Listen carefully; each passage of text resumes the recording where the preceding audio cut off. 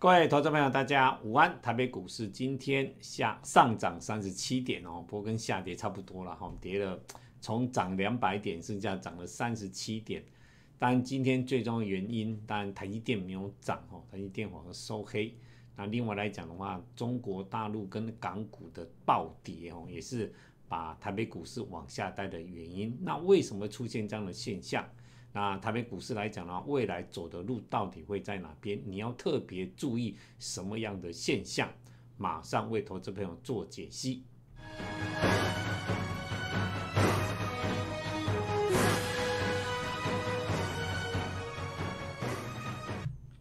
好，我们看台北股市之前，先看港股哈。你看港股今天跌了六点八八哈。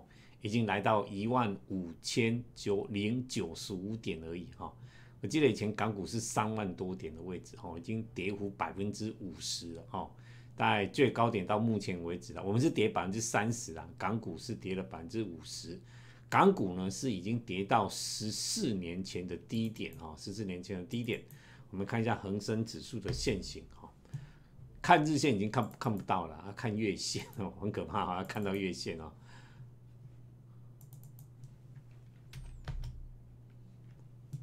哦，这是月线的位置哈，这今天大跌，这是这几天都一直在跌，从三万三你看，哦，跌到从去年到现在，啊，这里来讲是在这里的位置，这里的位置，哦，这是月线嘛，恒生，好，已经来到这里了，你从这边看啊，这边这不准哦，要从这边看，你看从这边看，往下看，这里有没有？从这边的点呢看哦，月线来讲的话，从这里看，因为它是这个是在上面，要看下面这一点，有没有看下面这一点？这里哈，这今天的低点一万五千多点呢，已经来回到这里来讲，已经回到了九十八年，民国九十八年的位置。今年是民国一百一十二年嘛，哦，所以说十四年前，那港股的特色是什么呢？本益比非常低。港股的特色，整体的本益比已经来到了五倍而已，哦，已经来到五倍而已。那到底什么现象？政治力，哦，政治力。这两年来，中国大陆对整个政治力介入香港的各方面的状况之下，让国际资金的外逃。好，今天为什么讲港股？其实台湾已经面临了相同的现象。为什么这样说？哈，等下跟各位报告。所以说这里来讲的话，很多的台北股市来讲，最近。很在跌，像今天美国股市涨这么多，你看美国股市两趴七百多点，以道琼工业指数哈，我们讲道琼工业指数，哦，以它来讲的话，已经要攻季线了，哦，已经要攻季线，不要看月线了，哦，你看你看差那么多，哦，你这里来讲，我们看一下哈，就就日线来讲，你看它已经要攻季线了，月线它已经三天站稳了。已经三天站稳要攻季线，结果呢？我们台北股市以目前的状况来讲的话，今天开高走低，哦，开高走低。我们看一下今天开高走低，啊，连十日、五日线都站不上去啊，连五日线都站不上去。那上个礼拜的节目当中，我都利用一个地缘政治风险来跟你讲台积电哦。那今天来讲，我要跟你整个来讲，就台北股市。我个人觉得，台股港股化了。所谓的台北股市香港化，就是我们的本益比会一直被压缩，被压缩。就是是说，今年为什么台积电赚了三十九块，股票可以从六八八跌到三九七，到目前为止啊，股价都还涨不上去，还没有人看好股票。对股价来讲，还没有看好。大家都讲说，本益比很漂亮，很低的，对不对？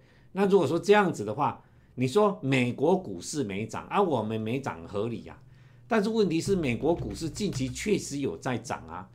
但是呢，在涨的过程当中，我们看费半上个礼拜五跌了三点三点五趴，三点七趴，结果台积电 ADI 连一趴都没有涨啊，连一趴都涨不到，只涨零点多而已啊。那这样台积电怎么涨得上去呢？那涨不上去的原因是什么？一定是有人卖嘛，对不对？有人卖嘛？有人不想要你的股票嘛？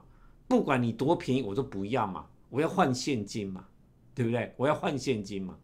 所以现在的效应来讲的话，投资者这个效应其实你从很多事情的观察，你也许观察不到。但是我要跟各位报告说，台北本股市的目前跌的都不是在跌。你说获利衰退，等一下给你看一个，我先举一个例子好了啦。哈，我们来举一个例子，说明年获利衰退，我当然承认获利衰退，但是投资者获利衰退能够衰退多少？我们看这是最新的 EAS 厂这些。代工大厂，人家对明年、今年的获利的预估，你看红海今年十一块，明年十一点二，和硕五点九、五点九九，广达六点九二、七点一六，伟创二点八、三点二，英业达一点七、一点七五，然后伟影七十九跟八十五，我们比如三，我们看伟影就好了，六六六九的伟影。你看最近股价降跌啊，如果说一家公司的成长有成长啊，四五七的产业也不错啊，对不对？但是为什么它可以股价从八百二十三块跌到今天六百一十七？今天来讲有点涨六百四十。你说从本一比来看的话，一个赚七十九块，今年估赚七十九块，至少今年不会错到哪边去了。他明年估它成长八十五块。你不用跟讲什么华硕啦、维新啦，对不对？这个都还有成长哦。你看哦，维影还有成长哦，红海也有成长啊。你看最近红海在整理啊，你看红海至少没有像维影跌那么凶啊，但是还是在跌啊。同志没有？为原因在哪边？就是现在市场在修整个台北股市的整个的本益比都在往下修。你看红海，红海至少它还能够守住年线这个位置的，但是呢？电动车的题材加注在它身上，我们知道电动车来讲是未来整个电子产业来讲成长最快的。像今年啊，二零二二年的电动车可以生产一千六百万台啊，全世界今年的整个车辆来讲才七千万台，所以复合成长率高达二三十趴。接下来电动车是往上成长，结果呢，它的 Model C 已经要变成纳智捷 N 七了，然后 Model V Model V。Model B 跟 V 也都发表出来了，那 Model T 呢？其实这个电动巴士早就在台湾已经生产，但是量不多啊。但是你看红海，至少它经过了两年的准备的时间，其实它很多的东西大概都已经就位了，对不对？但是你看股价的表现，就是一直涨不上去，原因是什么？外资一直在卖它。那外资为什么要卖它？你说红海不好吗？全世界最大的 EMS。获利不好吗？以目前看的话，本一比十倍都不到啊！但是为什么涨不上去？就是你要去想的是这个问题。也许你看股票在跌哈，如果说一家公司股票跌是因为获利的呃整个衰退来衰退很大的话，没话讲。但是如果说以今年明年的获利预估，如果说至少持平，或者是说能够稍微成长，但是股价跌了那么一大段以后呢？大盘跌了三十八，一样涨不上去的话，那是代表说，全台湾本身来讲，就像我上礼拜五了，除了经济面以外，政治力来讲的话，你要考虑下去了。前几个礼拜，两三个礼拜之前，马斯克讲说啊，台湾哦就要跟香港一样，走一国两制啊，对不对？投资朋友，你不要觉得这样子是马斯克乱讲话的哦，这是外国人对我们台湾现在的看法哦。很多人都不了解这一点哦，所以为什么最近来讲台积电涨不上去？其实最主要的就是去台化。我讲难听点就是去台化。我们看一下中共这一次的二十大，港股进入了大跌，就是习近平权力绝对掌权，改革开放派全部被淘汰掉，政治局七个政政治局七个常委全部都是习近平的人。都是他以前在浙呃在福建在浙江在那个上海那时候的下面的人，他能够亲信，全部都往上爬，后往上爬。那习近平来讲的话呢，因为这个讯息让港股大跌。好，那习近平他的想法很简单，那你看哦，你看这几个未来哈，一定是影响大陆经济不好，台湾的经济，当然我们有有靠欧洲跟美国。但是呢，我们很大部分来讲的话，你看我们出口到大陆百分之四十，哎，如果大陆不好了，我们台湾会好到哪边去？好，我们不管什么地缘政治好，你看哦，他现在走的是什么？共同富裕。二零一九年提出来以后，啊，二零二零、二零一九，你看这两年他们的股票来讲的话，什么阿里巴巴，你看跌多少？你看跌多少？所以现在在中国大陆赚钱哦，你一定要把钱捐出去了，不然我跟你讲，你有一天一定会被清算的啦。其实现在他们的明星也是一样，赚了那么多钱哦，大家都在捐款。你不捐都不行，你不捐都不行啊！你不捐到最后，你根本就连戏都没得演，好都没得演。然后你看哦，社会保障，然后碳达峰，其实哦，碳达峰、碳中和，这个都是增加企业非常大的成本，但是他们也是在做了哈，他们也是在做。但是最重要是这个，你看他还是讲和平统一，但是重点是他把统一台湾这个步骤已经放在他们的议程里面了。所谓的议程是什么意思？就是有时间表时间表已经慢慢出来，以前是没有时间表，现在他们已经开始着眼于什么时候怎么统一，当然是以和平统一为基础，和平统一为先前条件。但是这个过程当中会遇到什么状况？当然那个因素很多。但是呢，就国外人、外国人看台湾的立场来讲，就像外国人看香港股市一样，至少他目前。很多国外外国人，尤其外国的投资者，就把台湾的台湾的市场未来的方向会跟大陆看的一样，跟香港看的一样。所以马斯克讲的台湾就应该跟香港一样，这就是外国对台湾的看法。我们本国来讲，你觉得马华马斯克在乱讲话，对不对？我们政府机构听马斯克讲的话说，我不采购那个呃特斯拉的的那个呃电动车了。但是，同学们，你要去想哦，现在世界的趋势会在哪边哦？我说的世界趋势说，台湾股市哈这一波的跌啊，你说跌三十趴重不重？整体来三十趴重，重是没有错。但是你说是全球股市最重吗？你跟 n e s t a 比的话，还没有 n e s t a 或是说费半那么重啊。讲难听一点，但是呢，你要去想我们的本益比到底是低到什么样的程度，那才是最危险的事情。你看台积电本益比今年的获利都低不都不到三十倍，都不到十倍啊！这是多么可怕的一件事情啊！哦，所以说现在来讲的话，你在操作多方来讲的话，尽量啊，尽量低接了。你今天很多追高的都完蛋了，对不对？你今天去追高了，你是今天一追高强势股，对不对？还有有些个股能够锁得住的啦，有些个股就比较不行。你看今天，你可以看我昨天，我上个礼拜跟各位讲面板，对不对？你看今天新塘都在低档啊，但是你今天一追高就死啊，有没有？今天一追高，它还算跌不多的嘞，它还算跌不多了。你看有一些个股跌的比较多的啊，有比较多的哦，不用讲什么六五五零啊，这种北极星这一种啊，你看这样跌的够便宜，投资朋友，它不便宜耶。你要看它月线的话，你就很可怕，好不好？它有的跌，你看它是从九块开始起涨的，所以涨到两百三十几块的时候，你还敢追，我真的佩服你了。讲难听一点，这个金出货把它出到光了，还没出完呢。你看他已经做了这么一大波，他就是在压货，那其实这是跟着在压货，就是每天卖，每天卖就对，做量卖，做量卖了。所以你不要去接这种。看不到底的股票，真的不要去接看不到底的股票。我上次跟各位讲，我们讲 I P 的时候，对不对？我还跟股票来讲，当然你说今天涨，我们讲智远嘛。我之前在节目当中跟各位投资朋友讲过智远吧，对不对？我们也有买嘛。那我今天来讲的话，我就先卖掉了。好，我就先卖掉了。好，就昨天跟你讲面板的部分了。好，我就先卖掉了。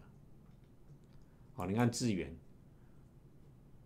我十月十月十四号买的，对不对？一二四一二五，今天又涨停板，对不对？这是九点七分的时候，五分钟就攻上涨停，你们有？五分钟攻上涨停，但是呢，来你看一下哦，这是九点七分的哦，攻上涨停哦，你看到我九点二十四分就觉得这个盘不对了。大盘只涨两百点就开高走低，非反弹，非反弹非常弱。我们涨涨停板先卖一半的持股，赚了七趴左右而已啦。但是我还是要卖啊！啊，虽然资源今天算强哦，虽然大盘从涨两百点变成涨三十七点，啊，关关开开关关开，后来还是锁起来了。但是我跟你讲了，投资朋友，现在来讲的话，大盘不好哦。今天是大盘还开盘，反正资源明天开法说嘛，可能有人要做还怎么样，等法说要就要出了，反正我先出一半，另外一半再看嘛。但是我对操作多来讲，我不敢说我现在帮会员赚二十趴、三十趴、呃四十趴、五十趴，或每天涨停板，想都不敢这样想。其实我现在最大的希望是真的能够反弹了，谈到一个程度来做空了。你在这这里做空，政府其实有尽力要护这个盘，但是护不住啊。这个盘哈，你看哦，最近都在一万两千八百多点，是根基于美国股市有在涨的过程当中啊。对不对？是美国股市真的是有在涨，不是没在涨哎。你看道琼最近真的有在涨哎，结果呢，我们台北股市跟不上啊，原因就是政治，不管是半导体的地缘政治，还是整体的一国两制的政治啊，外国人看台湾股市跟看台湾跟香港，已经慢慢看成同样一个地位的的状况了。只是马斯克的大嘴巴，他比较敢讲而已。其实马斯克讲的是很多外国人对台湾的看法。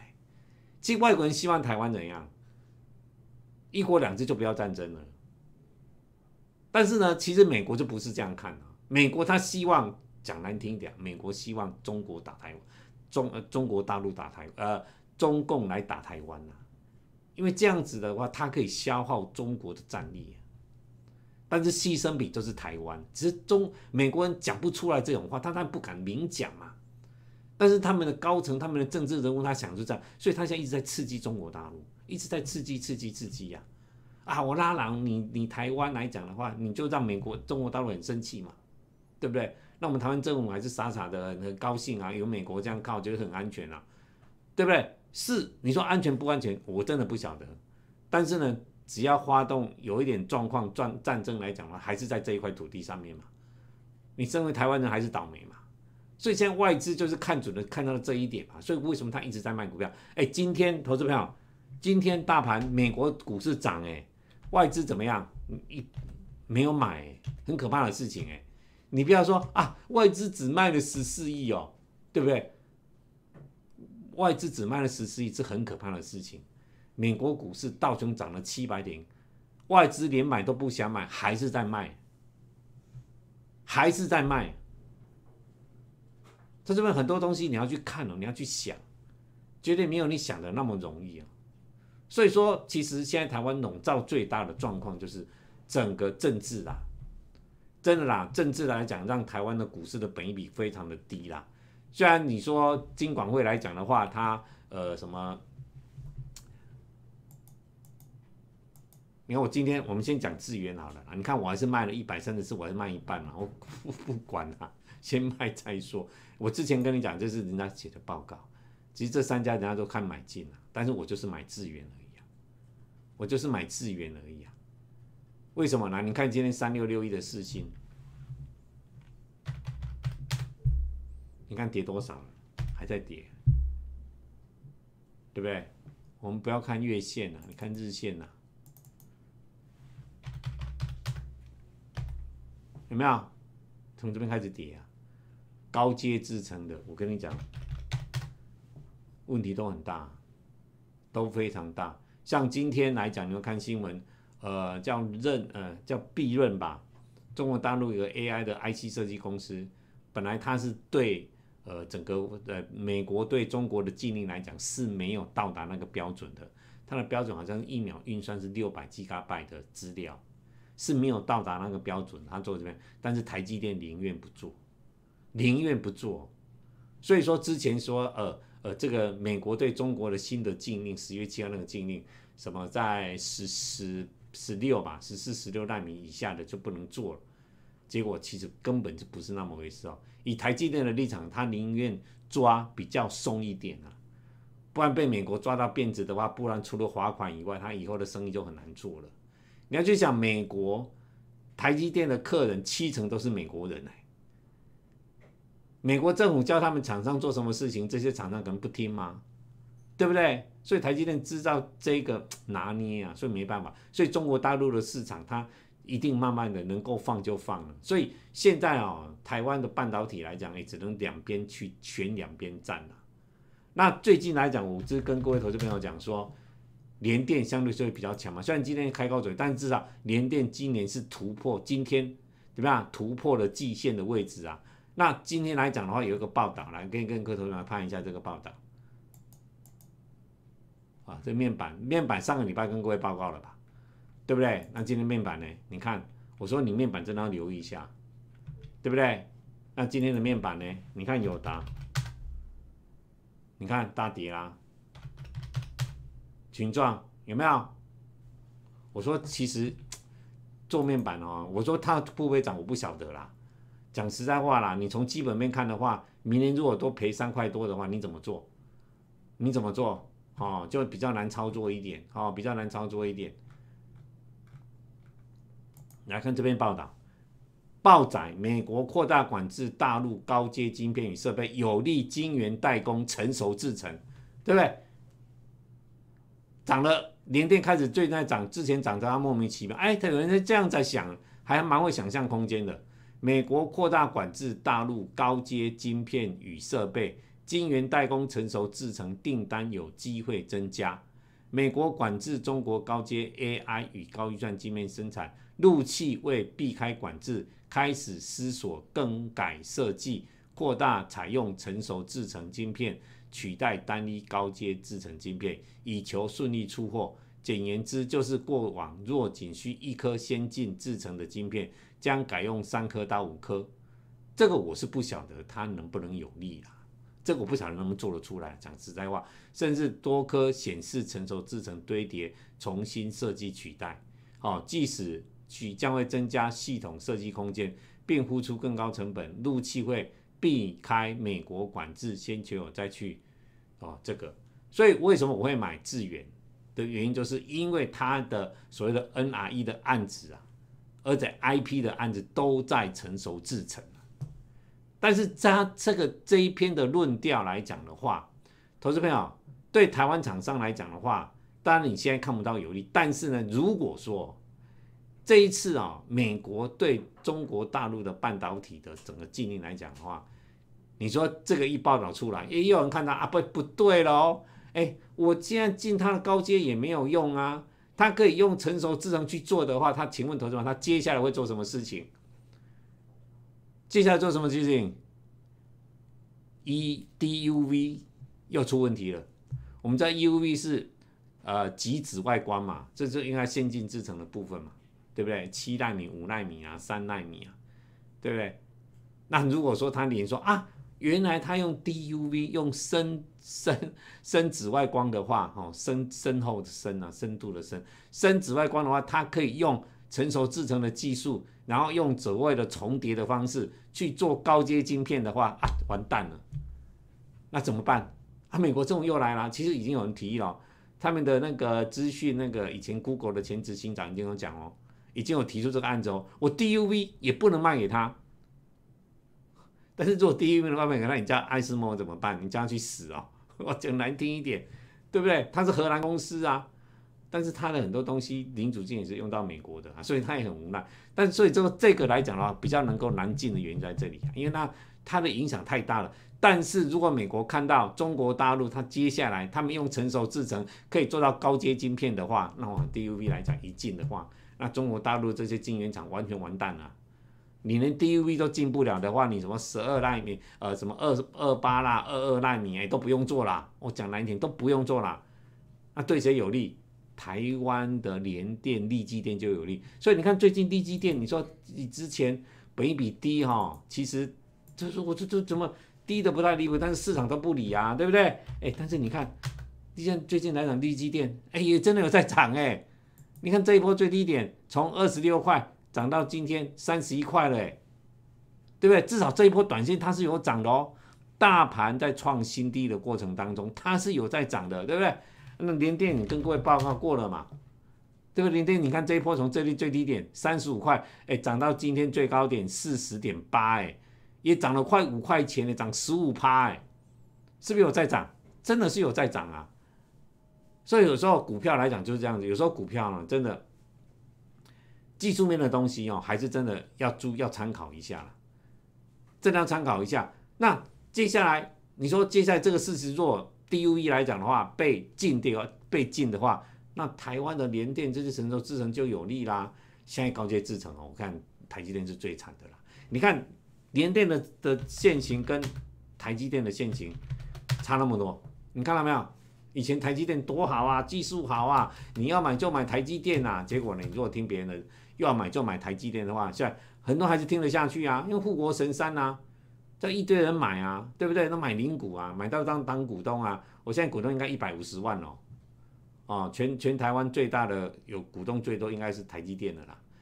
但是呢，买有什么用？没有啊，外资带照道啊，就一直倒一直倒啊。像今天台积电是不是倒了？你看，开高走低呀。啊，如果大盘好的话，台积电怎么可能不涨？所以台积电，我说它已经变成长期外资提款的一个一的的一只个股了嘛？为什么？我算给你听哦。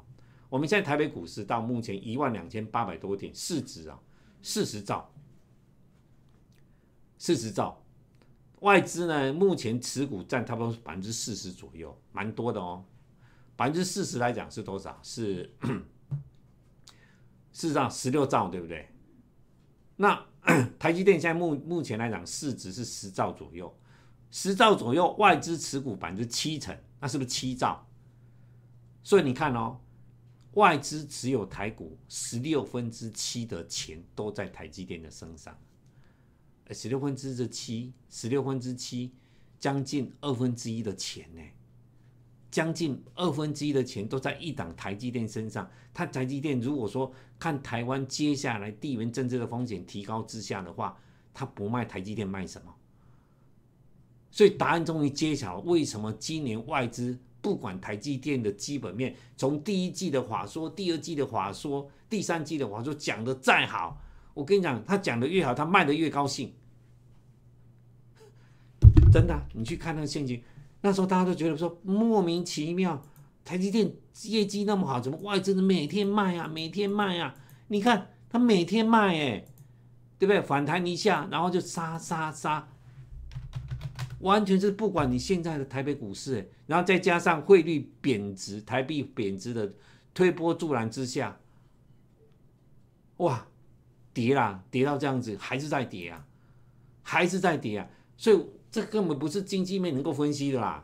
你说经济面能分析什么？台积电啊，今年三十九块，明年三十六，有人估明年三十八，今年三十八，明年三十八，你看，本益几倍？十倍啊！那我跟各位报，如果台积电只有十倍的话，台北积电如果往下跌，大盘已经往下杀的，那是不是多杀多，就变成个轮跌？台积今天跌台积电啊！啊，今明天期间今天怎样涨？啊，明天台积电不太跌，啊，其他中小电子股又涨又跌，然后接下来呢，这个电子股跌断了啊，又开始换成长股来跌，啊，今天五再跌，啊，变成这个轮跌，啊，跌到什么时候？不知道，讲难听一点，不知道。你说现在底部起来了没有？以目前大盘底部起来了没有？它只是尝试在打底，但是投资者你要注意哦。这一次在一万三千点晃啊晃啊晃，是美国股市往上涨的支撑之下才能这个样子。按平股市做跌怎么办？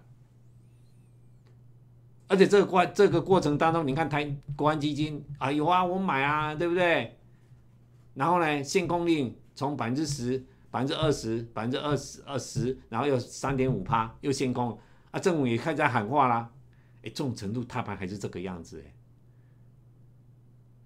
他说：“你去想一想，这大盘多弱啊，弱到爆，真的弱到爆。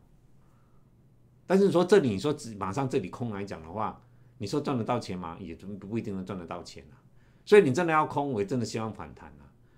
啊，如果没有反弹，再空下去嘞，再再跌下去嘞，啊，政府又护盘，对不对？啊，所以可能在可能在这边，可这边就怎么冲突吧？就是这个，反正这边磨啊，在这边磨啊，所以这边磨来讲的话。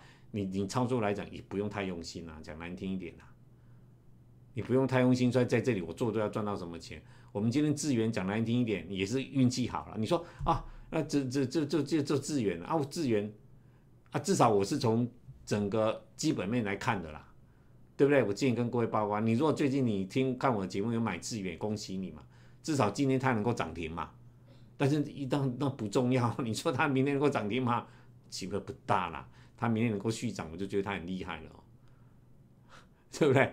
因为话说完的话，嗯，好坏消息一定跌嘛，好消息也是开高走低，利多出尽嘛，不知道啊。现在来讲的话，主力在做来讲也都做很短了，讲难听一点，对不对？所以说现在来讲，你不用太期待说现在你操作股票可以赚到呃二十趴、三十趴、四十趴。真的机会不大了，因为真的大盘在往下修的过程当中，其他的个股都很辛苦哦，都很辛苦。所以这里来讲，这礼拜要开始哈，来你看在这礼拜开始，哇，收微一大堆了。你看智源嘛、万宏嘛、联电嘛，这礼拜三嘛，对不对？都是大公司啊。莲花科礼拜五、礼拜十月二十八号了，礼拜五啦，哦啊，然后台达电呐，对不对？然后丰丰兴啦，好，然后文业啦、文茂啦，哈。那如果这些公司来看说啊，现在看大概不太可能跟你讲很好啦，只要说不要再坏的话，就已经很厉害了。反正呢，我觉得现在的话说讲好，没人会理你啊。哦，今天本来要跟各位讲很多的最新的对整个笔电啊，或手机啊，或伺服器啊的的整个看法哈。那明天有空再跟各位讲，这是最新的哈。好，这最新的，你看哦，笔电下修。反正都下修了，都下修啊！下修二零二二到二零二三年出货量预估年减，今年二十一趴，五趴，有没有？二十一趴本来是十八趴跟二两趴，现在是二十一趴跟五趴，这是坏更坏了，这是坏更坏了啊！有空明天再跟各位报告哦，再跟各位报告。所以这里不管资金面升息，外资在抽资金，对不对？技术面。五日线都站不上，啊，基本面越来越坏，再倒霉一点，台湾再加上政治面，对不对？外国人看台湾一国两制，对不对？这是最好的结果。那结果把我们台湾跟港股慢慢在无形当中在做连结。那港股创了十四年的新低，港股的特色就是本比非常低，所以现在港股的本比是低到爆哎，股价还是跌，你没办法的事情。所以台北股市会不会走港股的后尘？你要特别留意一下。从现在看的话，当然是我也我也不敢讲了。至少我们政府在这边会运作一下了。但是就一个趋势来讲，它能不能挡得住？啊，能不能挡得住？我觉得投资者要先看再说。因为最近美国股市涨上去哦，我们台北股市真的涨不上去，看起来是真的还蛮危险的。哦，看起来真的蛮危险的。哦，所以说很多的投资来讲的话。你一定要考虑比较多元一点，哈，比较多元一点。好，股市龙钻，欢迎投资朋友订阅、按赞、分享、开启小铃铛，影片上传就会做提醒通知。另外，如果说你有任何持股问题或想加入会员，欢迎任意点选标题处，会看到新视窗，第一个网址按进去，会到我们股市龙钻入会及持股的见证申请表。